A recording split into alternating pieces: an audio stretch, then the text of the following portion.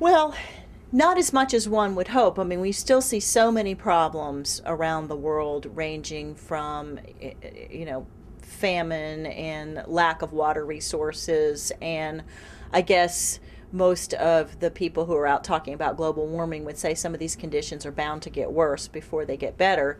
The the good news is that um, I think technology potentially offers the solution to a lot of these kinds of problems.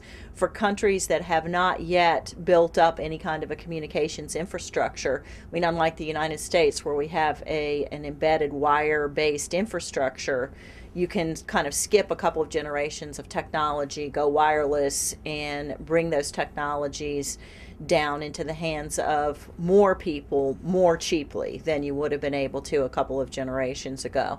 In addition, I think that there's a lot of exciting work being done now on, uh, for example, distributed energy energy generation where you could have just one village or a handful of homes within a village could have their own um, energy production capabilities and their pr- ability to produce their own fresh water and um, the tools that are needed to grow their own food. So I think uh, a lot of those things can increase increase and improve the living conditions for a lot of the world's people who who really have continued to be left behind. Now, when you look at not just the poorest of the poor countries, I think you're seeing technology completely transform economies like China and India.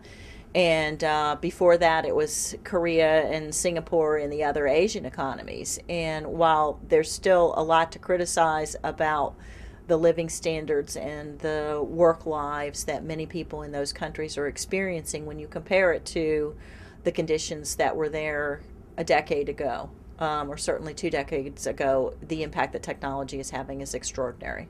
And the economic growth that's being achieved by those economies is extraordinary.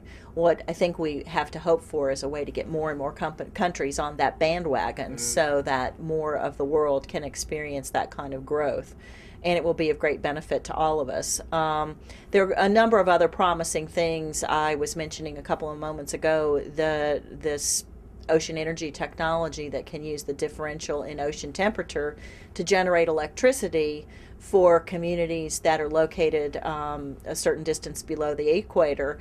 And that technology can at the same time produce fresh water. So you're seeing ways where technological advance can be, begin to address multiple problems in some of um, these very poor countries now.